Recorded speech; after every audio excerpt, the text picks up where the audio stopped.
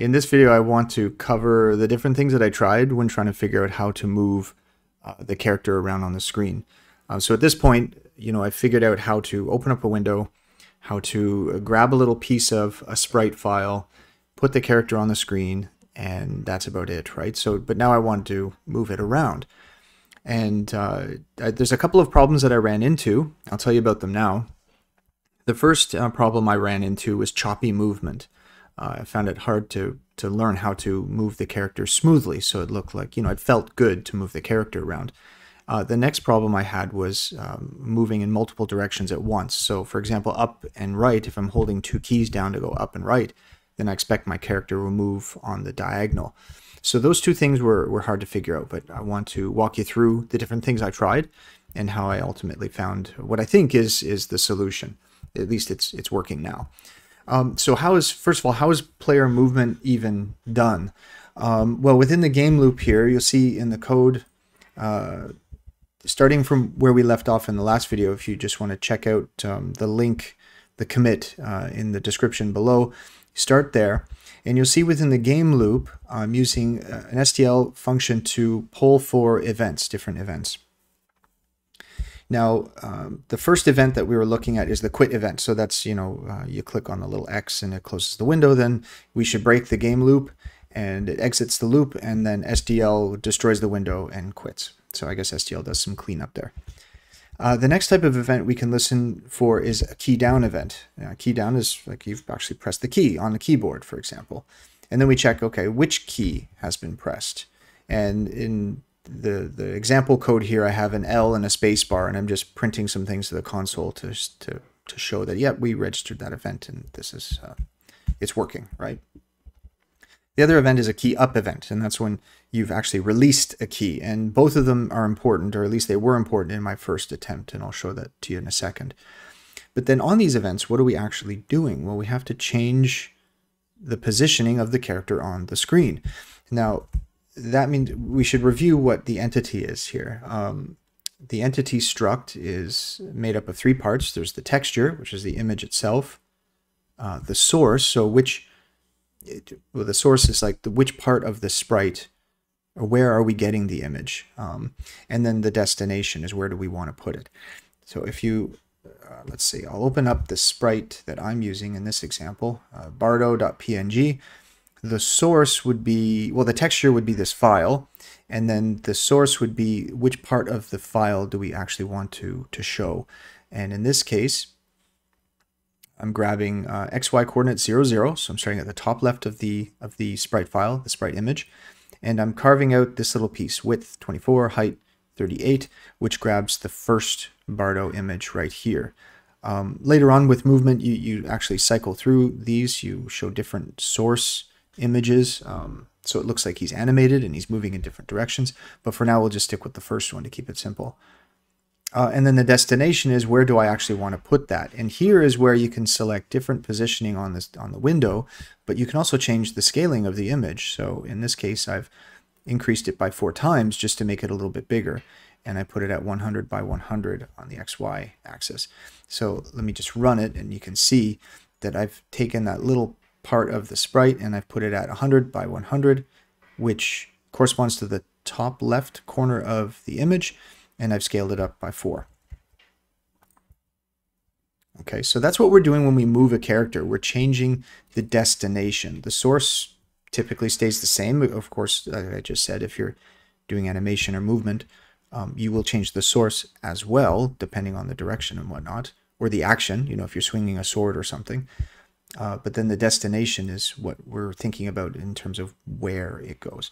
So what did I try first? The first thing I tried is, well, key down event. Um, the, the, the player has pushed down the A key, right? And that would mean that the player is trying to move to the left. So I did, uh, I reached into my global variable here, the, the context. I looked at the player, the destination, and I would decrement the X coordinate by 10. So we can do 10, 20, 50, whatever. It just changes the speed of the movement. Actually, maybe I'll do 40 just so it's moving a little bit faster. So it moves to the left 40 pixels when the character, when the player pushes A, right? Next, when the player pushes uh, D, then that means we're going to the right, so we'll change the, the x coordinate, uh, we'll increase it by 40. In the case of uh, a W, the player is trying to move up, so we're now on the Y axis, and up would mean that we're decrementing Y by 40. And in the case of S, the player is trying to move down,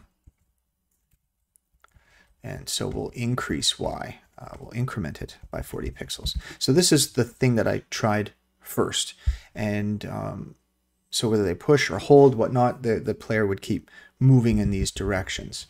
And uh, so let's recompile and we'll see what that looks like. Pay close attention how choppy it is. And then when I first first push it, you, you see a noticeable jump. And then if I continue to hold it, uh, it smooths out a little bit, but it's still quite choppy.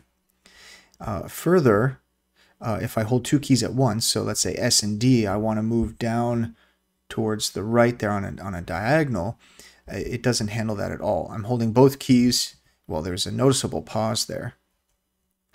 And then, but it doesn't move on the diagonal. It registers the last key pushed. So play around with it yourself and you'll see. So I was quite disappointed at this point. It wasn't working. It didn't feel like proper movement at all. So I did a lot of reading. Um, it was very hard to zero in on the actual cause of the problem. But here it is. You don't want to be changing positioning of an asset, of a, of a player or a, a mob, for example, you don't want to update the positioning in the event handler. Why? Because the event handler isn't, it doesn't uh, pull the events, it doesn't handle the events at regular intervals. It varies. So that means that the movement won't be smooth. Instead, what you want to do is within the event handler, you want to update the state but outside the event handler is where you want to update the positioning. So what do I mean by updating the state? You just want to register whether or not the player, or which direction the player is moving in, if any. You just want to set some flags, some Boolean flags perhaps. And then outside the event handler, that's where you actually change the positioning. So I'm going to do that next. The next thing I tried was in my um, global context here is I just had four flags. Um, I put moving left is a Boolean, moving right, uh, up and uh, down. That's what I did right there. And so when the key is pressed, rather than changing uh, the destination coordinates right here, I just flip the flag. So moving left is equal to true.